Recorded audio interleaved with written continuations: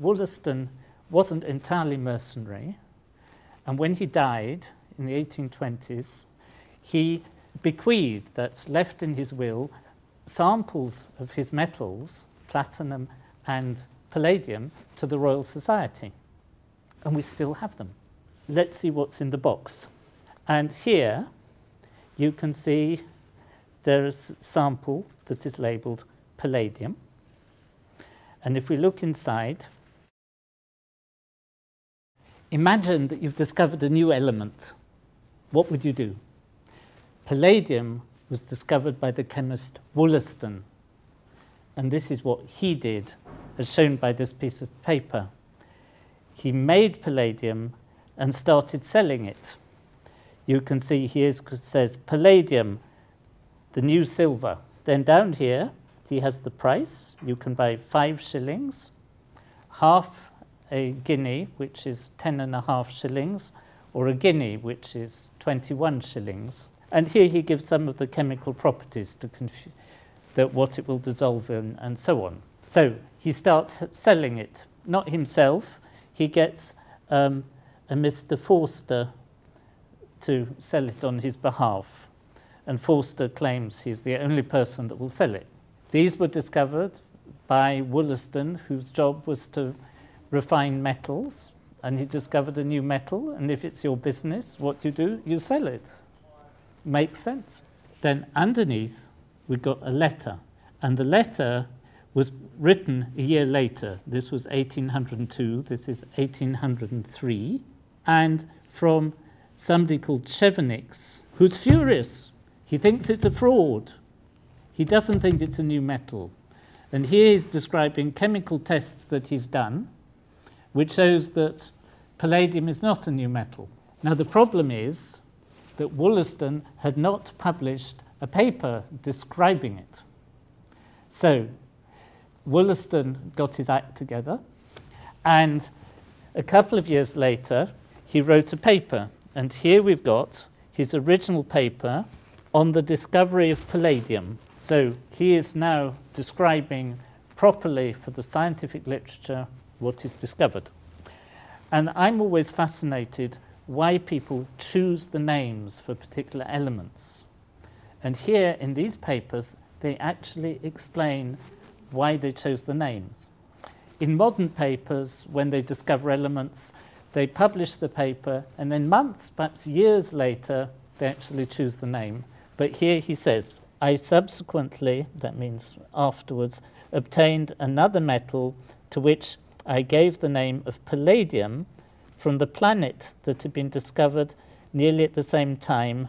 There isn't a planet, as we now know, with a name that sounds like palladium, but it turns out that in 1802 they discovered a very big asteroid which in those days they thought was a planet, and it was called Pallas. This was really fashionable and trendy. Discover an element, let's name it after the new planet.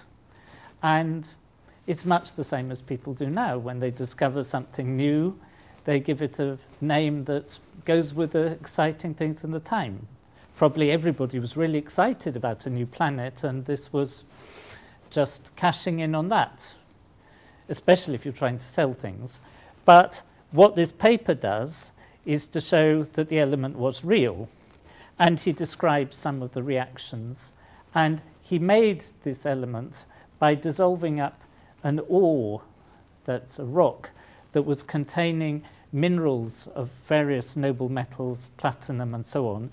And by careful precipitation, he could precipitate one metal after another. In here, got a box and inside are two lumps of metal. We'll come back to these in a minute. And here you can see there's a sample that is labeled palladium. There are there is a, two pieces of palladium. And somebody has written something on this one. But what's interesting, he left these samples to the Royal Society to be used for science. So you can see somebody's chopped off one of these corners, must have done an experiment with it. And this piece looks a very strange shape, so lots of bits have probably been trimmed off it. And then in here, there is